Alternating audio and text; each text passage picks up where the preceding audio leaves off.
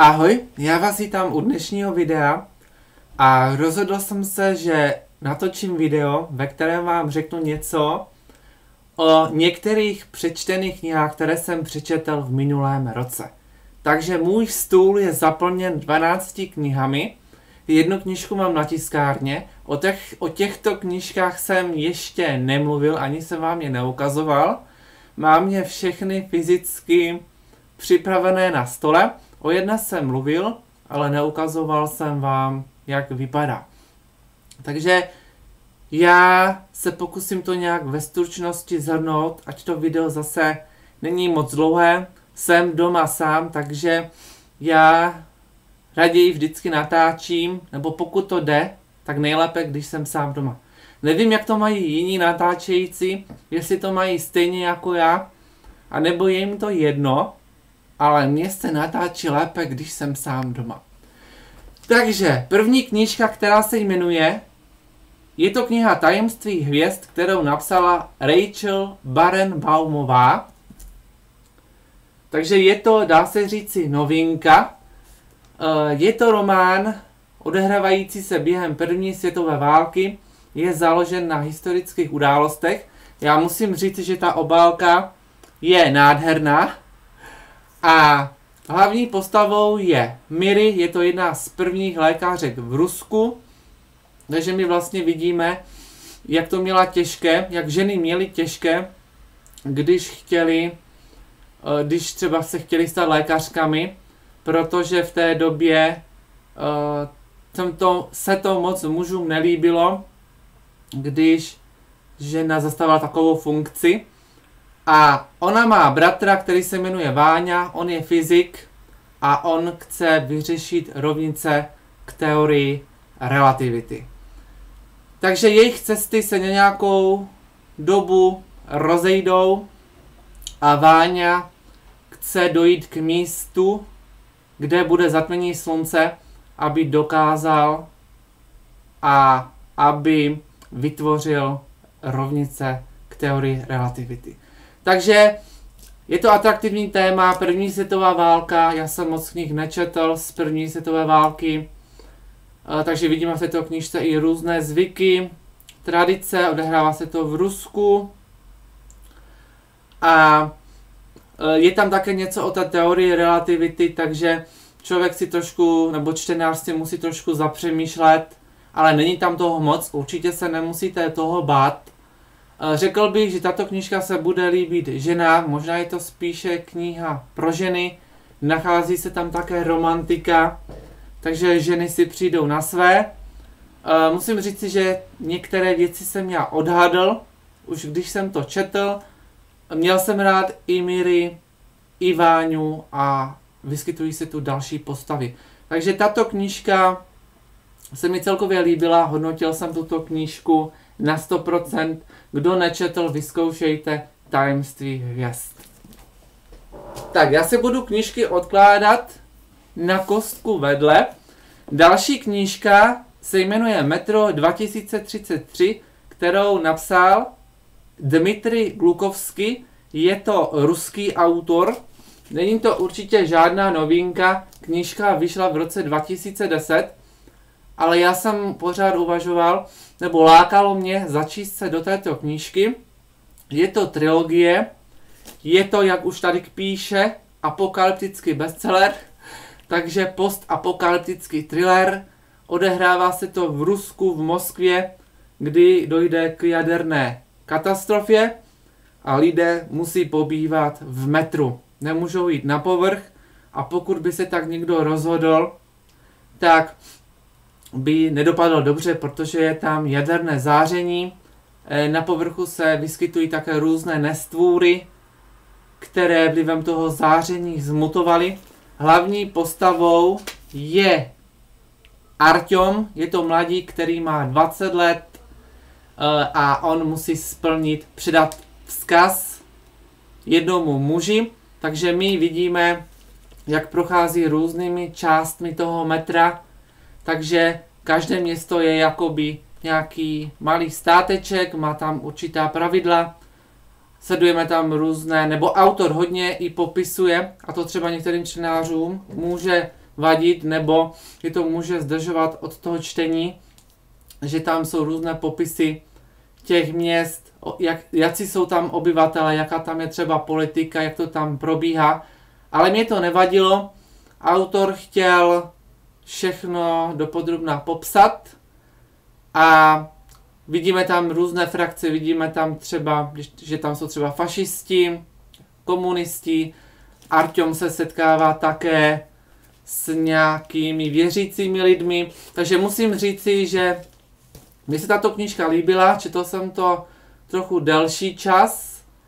Zajímavé je, že tento autor tuto knížku nejdříve psal na svůj blog na internetu, takže to bylo, to je taky zajímavé. Je to Rus, ruský autor. Já samozřejmě mám rád ruskou literaturu, e, hlavně klasiku od nových ruských spisovatelů. Jsem až tak moc nic nečetl, takže i to bylo takové pro mě lákavé. Musím říct, že to bylo strašidelné, že jsem se i bál.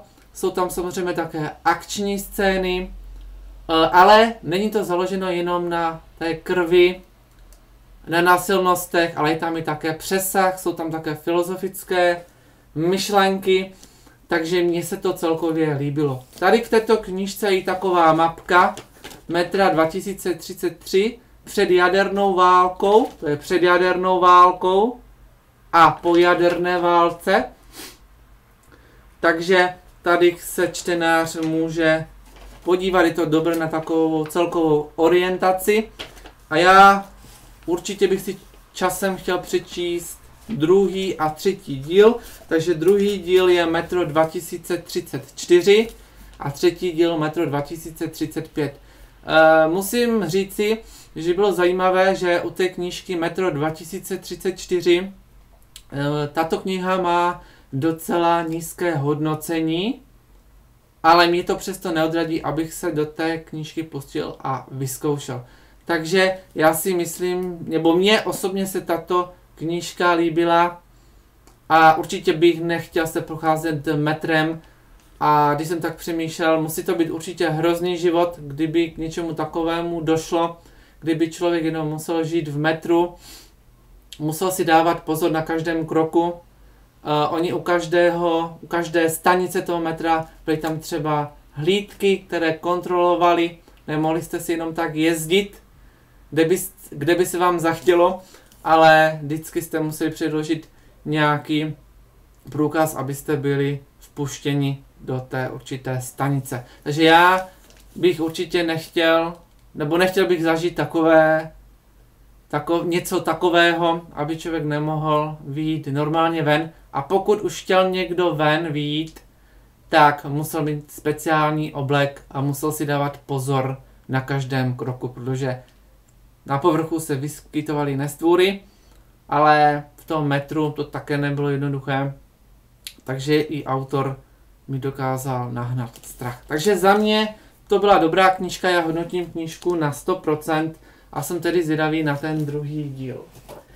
Další knížka Nimbus, kterou napsal známý autor Neil Schusterman.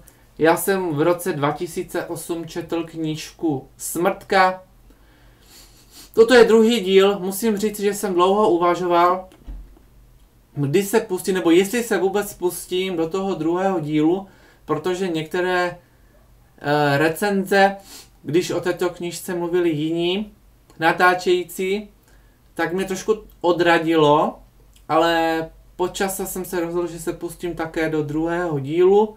Takže je to fantasy sci-fi, takže myslím si, že je to originální námět, který Neil Schusterman uh, vymyslel.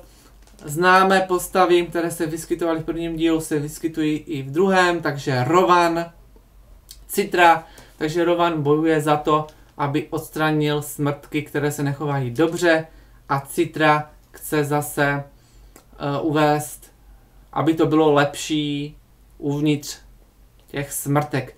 Takže ano, je tam politika, mně se líbil i Nimbus, takže je to pojmenováno jako Nimbus, takže Nimbus dohlíží na smrtky, na ten svět, řídí to, ale nesmí zasahovat do toho života smrtek. Líbil se mi třeba také smrtka Faraday, to byl takový učitel, takže ten se mi také líbil. Uh, já jsem zvědavý tedy na třetí díl.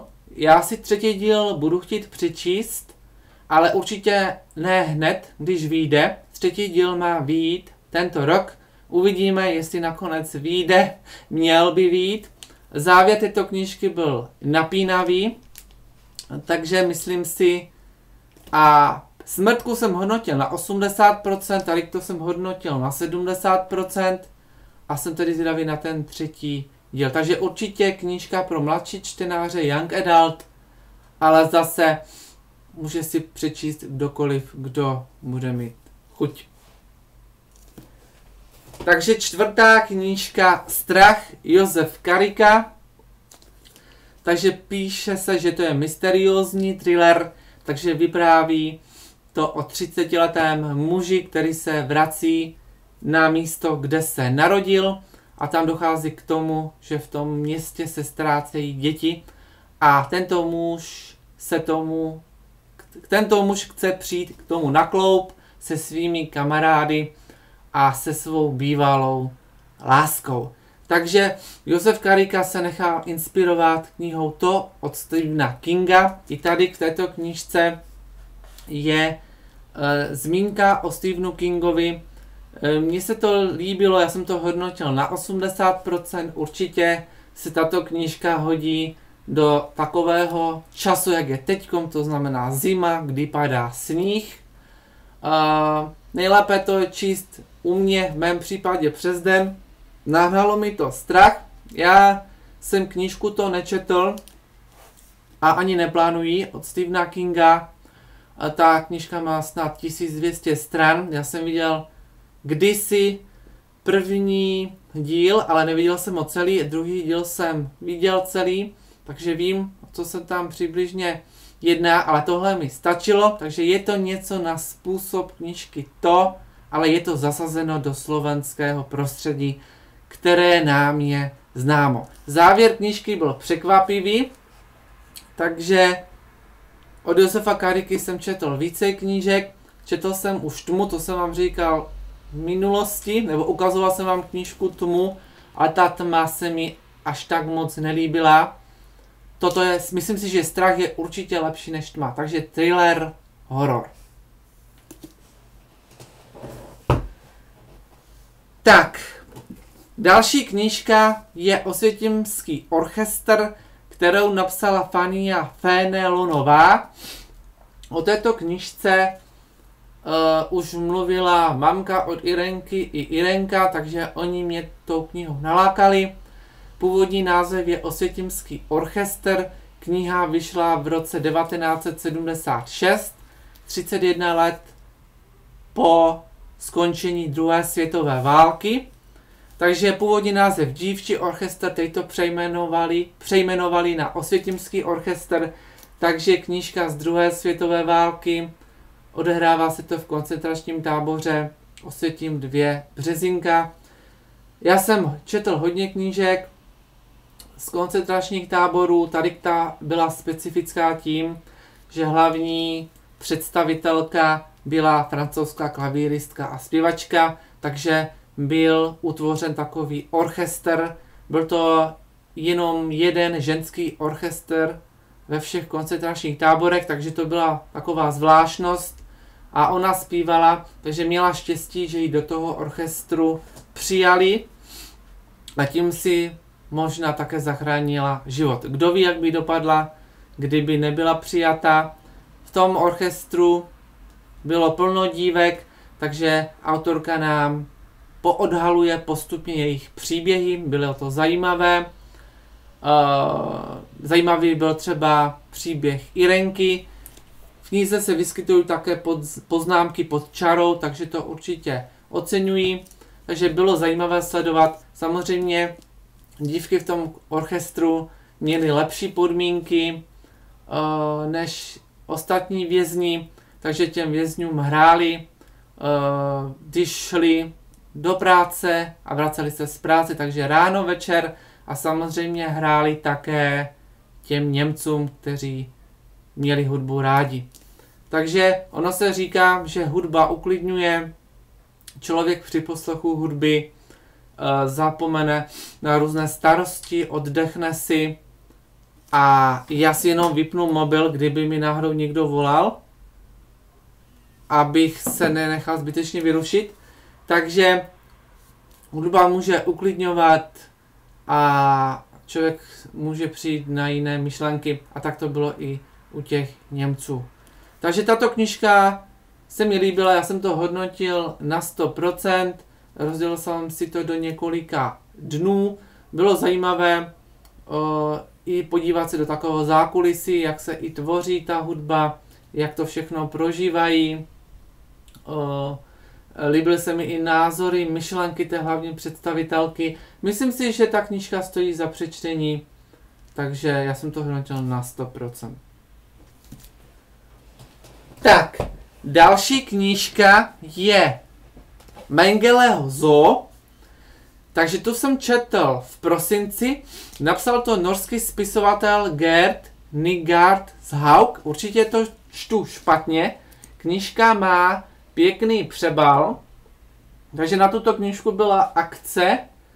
Stála 29 korun, já jsem si ji pořídil. Musím se přiznat, že jsem si v minulosti půjčil z knihovny, Dočetl jsem do nějaké stránky asi 20 nebo 30 a pak jsem skončil, pak jsem to vzdal. Možná důvodem bylo, že jsem si říkal, že bych s touhle knížkou strávil hodně času, možná i způsobem, jak to bylo napsáno. Ale pak mě to znovu nalákalo a knížku jsem si pořídil a řekl jsem si, že ji znovu vyzkouším a udělal jsem opravdu dobře. Podle mě takto knížka stojí za přečtení. Hlavní postavou je Mino, který žije v deštném pralase. Mino přijde o svou rodinu, přijde o svou vesnici, takže je naštvaný a chce se pomstit. Já musím říci, že jsem mu držel pěsti. Uh, I to, co vymyslel, co dělal, tak se musím, tak musím říci, že jsem mu držel pěsti, protože je to takové zamyšlení, nad tím, že dešné pralasy jsou důležité v Jižní Americe a samozřejmě o ty dešné pralasy má zájem, mají zájem nadnárodní společnosti, které chcou vydělávat, nedívají se na to, že zničí ekosystém, že zničí rostliny, zničí zvířata a ty rostliny samozřejmě mohou sloužit člověku, mohou, ale samozřejmě třeba je studovat, provádět různé výzkumy, a podobně, ale mohou pomoci člověku třeba proti nemocem, proti rakovině, Parkinsonově chorobě a dalším chorobám. Takže mně se tato knížka líbila, já jsem to hodnotil na 80%. Určitě je ekologie důležitá a tady by se dalo hodně o tom rozpovídat. Já zachovám takový racionální přístup nic se nemá přehánět, ale také se nemá nic podceňovat, ale myslím si, že za ty dešné pralesy by se mělo uh, bojovat a Mino bojoval a takže myslím si, že ta knížka stojí za přečtení. Norsko není součástí Evropské unie a tento rok, první knížka tohoto roku, Strom nebeského květu, je to volně navazující pokračování této knížky, takže je to druhý díl. Toto, tohle je druhý díl. Takže tady je hlavní postavou Jens Oder Flirum. Je to psáno retrospektivně, takže my počátcích čteme, když se náš hrdina ocitá ve vězení a potom postupně čteme o kapitolách, kdy byl v džungli, kdy byl mladší. Když byl mladší, tak tam se mi to chování moc nelíbilo, protože on přidal hodně žen. Já bych chtěl upozornit, abyste, nebo chtěl bych říci, abyste této knižce dali šanci, protože na databázi knih má hodně nízké hodnocení. Byli tam dva čtenáři psali komentáře, že tuto knižku nedočetli. Můj komentář je prozatím třetí. Určitě nebojte se této knížky. Ona je v tom počátku taková těžší, může vás to odradit, proto je lépe knížku, nebo já jsem knížku si rozložil do více dnů. V tom počátku jsou nějaké filozofické myšlenky, této knize se vyskytuje také politika, autor tam třeba i kritizuje Evropskou unii a podobné takovéhle věci, ale k dokreslení toho celkového kontextu si myslím, že to bylo potřeba. Mně se hodně líbily kapitoly z džungle, takže určitě si myslím, že uh, byly tam, bylo tam zajímavé různé zvyky těch domorodých obyvatel, těch domorodců, indiánů a všechno, co tam zažíval ten hlavní hrdina. Hlavní hrdina Jens Oder Flirum se také setkává s Minem z prvního dílu, takže já vám neříkám spoilery, je to psané anotaci, takže se s ním setkává a také mají nějaký určitý plán, který chtějí vykonat. Opět já jsem souhlasil s tím plánem, jak říkám, držel jsem jim pěstí a myslím si, že ta myšlenka, která je, kterou za co bojovali tito naši hrdinové, je určitě správná, protože když zničíme deštní les, když všechno vy, vykácíme, samozřejmě deštný prales se vyskytuje v Jižní Americe, ale na, i na jiných citadílech, ale v té Jižní Americe je asi nejvíc toho deštného pralesa a pokud ho vykácíme, tak potom by to mohlo mít vážné důsledky i pro tu zemi a bylo by to škoda, protože opravdu se tam nachází hodně rostlin, které třeba jinde nerostou, nebo i zvířat. A ještě ten Mino rád chytal motýly, rád je preparoval. A zase náš hrdina z druhého dílu, Jens Oder Flirum, je odborníkem na mravence. Líbilo se mi i v té džungli, jak odebírali vzorky, posílali to zpět. Může se tato knížka zdát, nebo když budete číst, tak někdo, něco vám může připadnout jako sci-fi trochu, ale mě to vůbec nevadilo, naopak mě to ještě víc vtáhlo do, těho, do toho děje, takže tyto knižky mě vtáhly do toho děje, ale chtěl bych upozornit, abyste to četli pomaleji, udělali si na tu knižku čas, nezalekli se filozofických nějakých témat, které jsou na počátku, možná, že některé to může odradit, ale celkově jsem to hodnotil pozitivně. Takže Mengelozo 80% a tohle jsem hodnotil na 90%. V této knižce by se dali také vytknout nějaké věci, ale celkově se mi to líbilo. Závěr byl hodně napínavý a bohužel v tom nejnapínavějším okamžiku to skončilo a já jsem byl a já jsem neviděl, jak to bude pokračovat. Takže ještě má být třetí díl. Já jsem tedy zvědavý na ten třetí díl, určitě si ho přečtu, určitě mě bude zajímat, jak to celé dopadne. Takže já bych těmto knížkám dal šanci, uvidíte, zkuste. Tato knížka se dá koupit i v levných knihách, takže je nižší cena oproti jiným knihkupectvím, takže kdo by chtěl vyzkoušet, tak určitě může a uvidíte sami.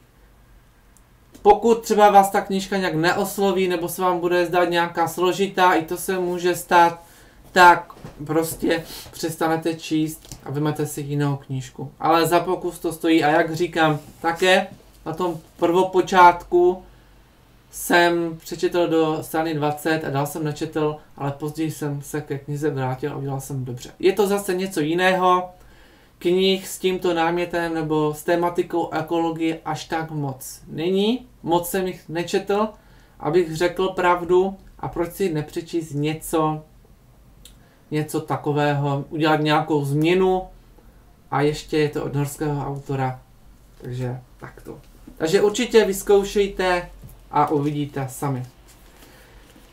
Další knížka je kniha Víš, kdo se dívá, kterou napsala Catherine Rian Hovardová.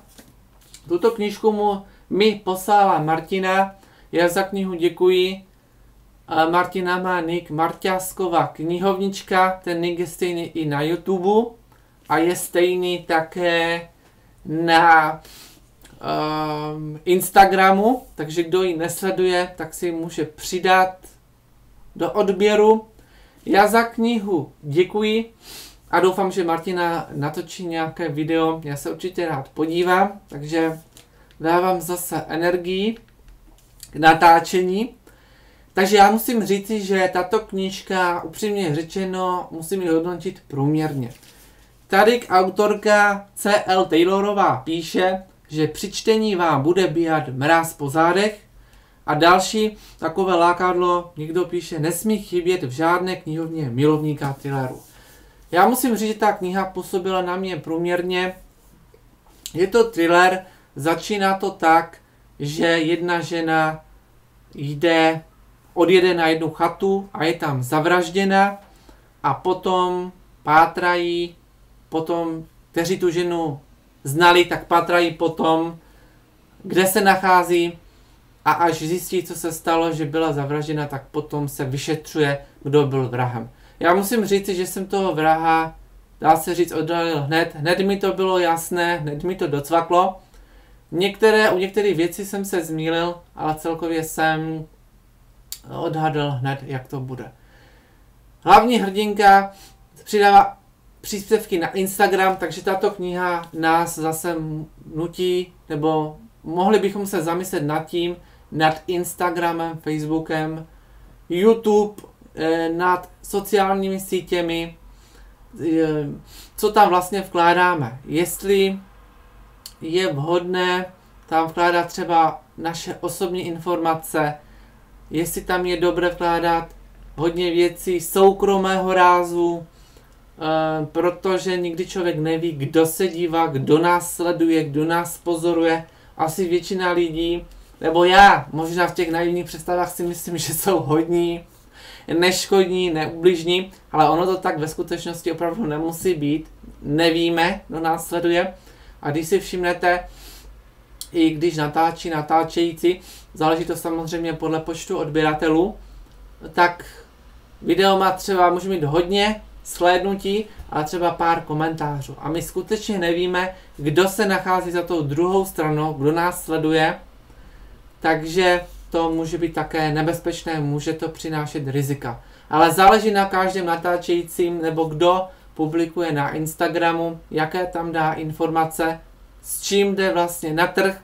Já třeba v minulosti jsem také udělal plno blbostí, natáčel jsem věci, které jsem neměl nikdy natáčet, ale už se stalo, chybu jsem si uvědomil, videa jsem smazal, ale prostě člověk dělá chyby ale je, tato kniha může vést k zamyšlení nad těmi sociálními sítěmi a zamyslet se, co vlastně na nich přidáváme a tak dále. Takže já děkuji za knihu, ale hodnotil jsem to celkově průměrně. Určitě existují lepší thrillery, si myslím, já jsem to hodnotil na 60%. Další knížka je Jidáš, kterou napsala Astrid Holleder. Je to pravdivý příběh, rodinná tragédie. Takže tato knižka byla zajímavá. Uh, autorka je to nizozemská autorka, je to založeno podle skutečné události a vypráví to o ženě, která měla bratra a ten bratr se nechoval k ní a k její rodině dobře. Udělal také nějaký únos, unesl jednoho člověka a choval se hrozně, měl různé obchody s podsvětím a podobně, takže ona a její sestra se rozhodli, že provedou takovou výpověď, um, že to vypoví všechno policistům, co se přihodilo a ta autorka se rozhodla vypovědět tento příběh čtenářům, aby se dozvěděli. Já musím říct, že to bylo strašné, protože oni měli strach z toho jejího bratra, on byl také ve vězení. V této knižce nacházíme také různé e, přepisy rozhovorů a opravdu dávali si pozor na každé slovo, nemohli si dovolit před ním mluvit, o čem by chtěli, že byl to hrozný život. Také její otec, od této autorky, byl taky alkoholik, nechoval se k ní dobře, takže ten život v mladí také neměl jednoduchý a potom bratr, který vlastně terorizoval tu rodinu. Já musím říct, že ten příběh byl zajímavý, ale mě moc nevyhovovalo to zpracování. Tato knižka má hodně stran, asi přes 540, kolem 540 stran, takže to celkové zpracování mi nevyhovovalo. Myslím si, že kdyby ta knižka měla méně stran, kdyby bylo něco třeba proškrtáno, protože ona skáče z minulosti do přítomnosti, takže trošku mi to připadalo takové zmatečné. Kdyby bylo trošku jinak zpracované, uspořádané, tak bych dal vyšší hodnocení, ale tak to se to docela četlo těžko. Ale jako příběh takový, podle pravdy to bylo zajímavé. Já jsem knižku hodnotil na 60%. Tuto knižku já už neplánuji číst a plánuji ji někomu darovat. Mám už tip, komu ji daruji, takže časem určitě tato knižka, tuto knižku určitě ode mě někdo dostane. Takže říkám, na jedné straně to bylo zajímavé, ale tím zpracováním jsem musel dát 60%. Myslím si, že autorka asi neměla nějaké, nebo myslím si, že asi nebude mít nějaké ambice do budoucna, že by psala nějaké další knížky. Spíše si myslím, že to byla taková spověď toho, co prožila, jak to bylo těžké s takovým člověkem, který byl znám po celém Nizozemsku a byl také několikrát ve vězení a vždycky, když udělal nějaký zločin, tak vždycky měl nějaké krytí, takže bylo těžké dokázat mu nějakou vinu, takže tam se dočteme o tom, jak, jak to dělala nebo co vymyslela pro to, aby se dostal do vězení, aby ho nějakým způsobem usvědčila. Tak, další knížka je knížka z písku a popela, kterou napsala Amy Harmonová. Je to kniha z druhé světové války, mně se tato knižka líbila, myslím si, že jsem to hodnotil na pět hvězdiček. Děj se odehrává v Itálii, já jsem moc knih z druhé světové války, které by se odehrávaly v Itálii, nečetl. Hlavní postavy jsou Angelo a Eva. E, společně spolu vyrůstali. Eva je židovka a Angelo, to bylo zajímavé, se chtěl stát knězem. Takže vidíme vlastně ten vnitřní boj. Na jedné straně chce se oddat tomu duchovnu, chce své cesty, aby vedli k Bohu, chce být kněz, ale na druhé straně cítí, cítí lásku k Evě. Takže jak to všechno dopadne, se dočtete v této knižce. Můžete zkusit, mně se to líbilo, hodnotím to na 100%. A pos, předposlední knížku, kterou tu mám, tak je to knížka Osvobození, kterou napsala Imogen Kaylee. Snad se to takto čte. Za knihu děkuji Daně, předala mi v Ostravě Karolíně. Je to skutečný příběh z druhé světové války. Hlavní postavou je Nancy Vajkeová, která byla špionka, působila v odboji. Takže příběh podle skutečné události. Bylo to zajímavé, já jsem o této ženě nevěděl. Myslím si, že tato knížka se bude líbit i ženám. Překvapilo mě, že se nachází v této knižce i humor. Takže Nancy vypouští i různé takové hlášky. Sledujeme tam také výcvik, kdy se vlastně šla na výcvik do Anglie. Takže to bylo také zajímavé.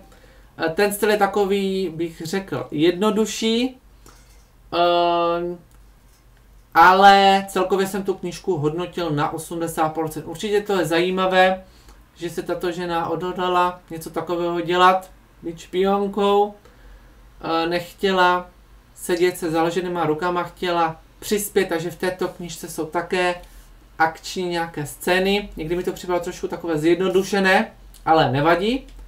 A říkám, překvapil mě tam ten humor, který se v této knižce nachází. Ještě tuto knížku, toto jméno je složeno ze dvou jmen, takže tuto knižku napsali dva autoři a já to teď nebudu hledat, ale je to složení na dvou autorů, toto jméno.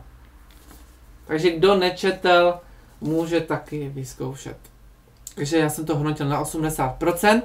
A poslední knížka, o které jsem vám mluvil v jednom z videí, a, které jsem natočil na konci roku, to je Schindlerův seznam, už jsem vám o této knížce říkal, napsal to Thomas Kenne, Kenne, ali se to píše tak asi Kennedy, Schindlerův seznam, takže ta obálka je pěkná, e, známý je film, už jsem vám o té knížce říkal, takže Oskar Schindler, muž, který zachránil stovky židů před smrtí, byl to obchodník a jak jsem říkal, na ten jeho život se můžeme dívat z různých stránek. Měl manželku, měl milanky, obchodoval s nacisty, měl svou továrnu, ale nakonec si uvědomil, nakonec ani ty továrny nevydělávaly a všechny peníze, které měl, tak chtěl dát za záchranu těch lidských životů. Takže to já na něm oceňuji a ty lidé, kteří přežili, jsou mu vděční. Kdyby samozřejmě zemřeli, tak potom nemůže pokračovat dál ta linie toho rodu, takže to já oceňuji, že se k tomu odolal. Nemusel to dělat, mohl třeba někam odjet, nestarat se o druhé, ale zachránil ty životy, takže za to, za to mu dávám takový hold. Musím říct, že ta knížka se nečte úplně jednoduše, jak jsem říkal v tom posledním videu.